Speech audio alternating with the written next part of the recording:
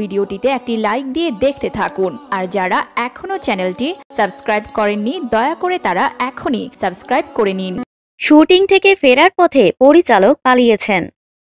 পাঁচ দিনের শুটিংয়ের কথা বলে কোনো মতে দুই দিন শুটিং করে ঢাকায় ফেরার পথে ইউনিটের সবাইকে ফেলে পালিয়ে গেলেন ছবির পরিচালক।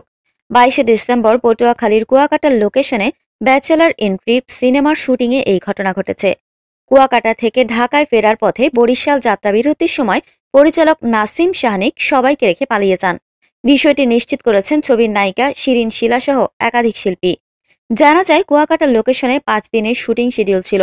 উনিশে ডিসেম্বর দিবাগত ভোর রাতে গিয়ে ইউনিট সেখানে পৌঁছায়। যাওয়ার পর থেকে শুটিং ইউনিটে অগোছালো অবস্থা নজরে আসে শিল্পীদের।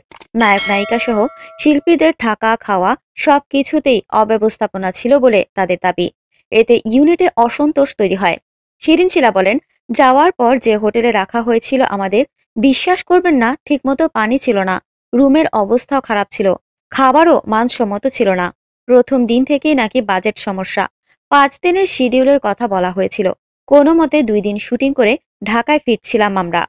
তিনি আরও বলেন, ফেরার পথে আমাদের জন্য দুটি মাইক্রোবাস ও ইউনিটের জিনিসপত্র বহনের জন্য একটা পিক ভ্যান ছিল। দুপুরে রওনা দিয়ে বরিশাল এসে রাত আটটা বাজে। আমাদের সঙ্গে পরিচালকও ছিলেন। মাইক্রো ড্রাইভার পথে গাড়ির তেল কেনা, ব্রিজের টোলের টাকা চাইলে পরিচালক দিতে পারেননি। গাড়িও বরিশাল থেকে আর ছাড়তে চাননি ড্রাইভার। একটা সময় পরিচালক আমাদের রেখে পালিয়ে যান।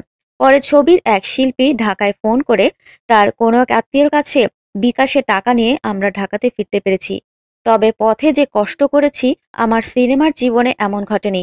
এমন সব অব্যবস্থাপনার মধ্যে শুটিং লোকেশন থেকে নিজ খরচে ঢাকায় ফিরেছেন মুকিত জাকারিয়া, কচি খন্দকার সহ ছবির আরও কয়েকজন শিল্পী। বিষয়টি নিয়ে ক্ষোভের স্বরে কচি খন্দকার বলেন, শুটিং ইউনিট থেকে আমাদের যে হোটেলে রাখা হয়েছিল, হোটেল পছন্দ হয়নি। তাই আমি মুকিত জাকারিয়া, মুসাফির বাচ্চু, পর্যটন হোটেলে গিয়ে উঠি। থাকা, খাওয়া সবই নিজ খরচে করেছি আমরা। শুটিংয়ের দুই দিনের মাথায় আমরা চলে আসি। পরে পরিচালক কোনো যোগাযোগ করছেন কি না জানতে চাইলে এই অভিনেতা বলেন, না, এখনও যোগাযোগ করেনি। এই ছবিতে আদৌ আর কাজ করা হবে কিনা বলা মুশকিল। এসব অভিযোগের সঙ্গে ছবির নায়ক কায়েস আরজু আরও অভিযোগ করে বলেন, এসব বাদই দিলাম। আমাকে পঁয়ত্রিশ হাজার টাকার একটি চেক দিয়েছিল প্রযোজক। সেটিও ডিজনার হয়েছে। এটি ভালো পরিচালকের কাজ নয়। এদিকে শুটিং থেকে ফেরার পথে পালিয়ে যাওয়ার বিষয়টি অস্বীকার করে পরিচালক নাসিম শানিক বলেন মাইক্রো চালক ঢাকায় ফেরার আগেই বরিশালে এসে পুরো ভাড়া বুঝে নিতে চেয়েছেন। এসব কারণে একটু ঝামেলা হয়েছিল। তাছাড়া বরিশালে এসে আমি একটু অসুস্থ বোধ করি। পরে সহকারীকে সেখানে রেখে আমি অন্যভাবে ঢাকাতে ফিরেছি। আমি পালিয়ে আসিনি।